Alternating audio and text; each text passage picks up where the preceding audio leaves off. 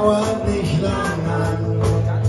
Wir können uns verzeihen, sagen, auf die Freundschaft kommt es an. Und du kannst mir alles erzählen, und ich höre dir mal zu. Egal was dich auch quält, bei mir kommst du.